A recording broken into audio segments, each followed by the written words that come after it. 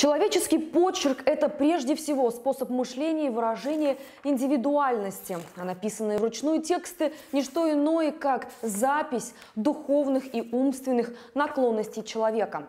Зачем мне фотография человека? Для меня гораздо важнее клочок исписанной бумаги, ведь в нем выражается настроение, страх, боль, переживания, говорил французский ученый-антрополог Тарт.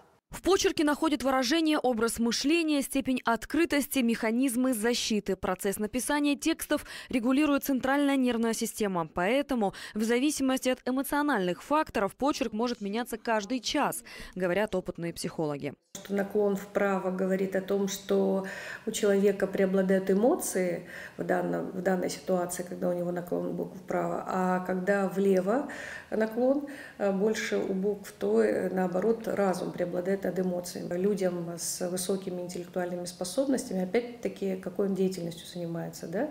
То есть если это человек, которому нужно много делать быстро, естественно, у него почерк будет размашистый, э, буквы будут скакать, потому что ему нужно много успеть. Вот говорят, что характерно для бизнесменов, например, для э, профессоров, э, то есть людей, занятых высокой интеллектуальной деятельностью, размашистый почерк со строконечными вершинами. И хотя люди все реже пишут авторучками и больше тяготеют к печатанию посланий на компьютерной и телефонной клавиатуре, интерес к теме почерка не ослабевает.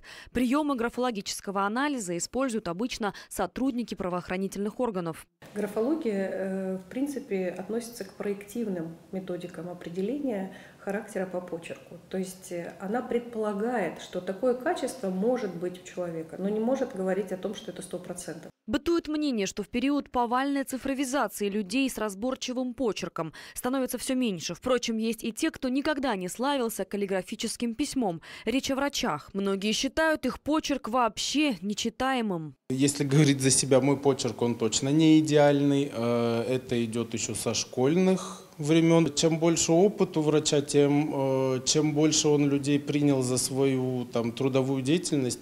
А почерк иногда, ну не то, что он стирается, там иногда такие иероглифы получаются, что практически невозможно их разобрать.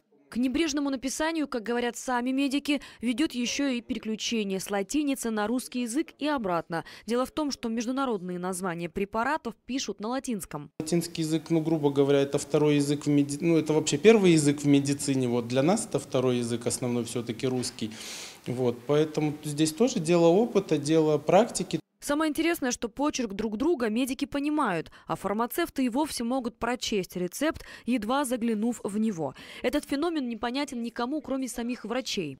Впрочем, одного почерка мало, чтобы судить в целом о человеке. В дополнение лучше обратить внимание на почерк его поступков. Юлиана Сотник, Алексей Николаев. Специально для новостей.